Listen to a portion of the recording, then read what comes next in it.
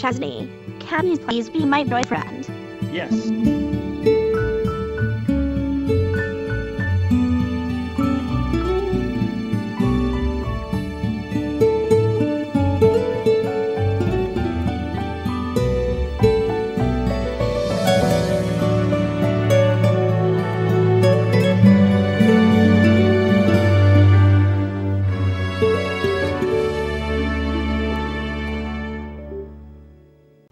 That was fun.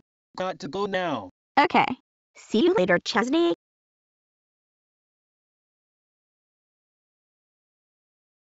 Abigail, where did you go?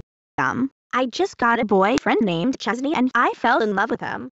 Abigail, I can't believe you fell in love with Chesney. That's it. You are grounded for two days. Go to your room now.